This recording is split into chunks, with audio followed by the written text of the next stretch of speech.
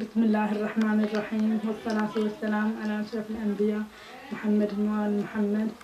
آه، أنا أحد المتواجدات في الساحة. آه، أرفض الحوار مع المسؤولين ومع المسؤولين عن كل الجرائم اللي تصير عن الانتهاكات.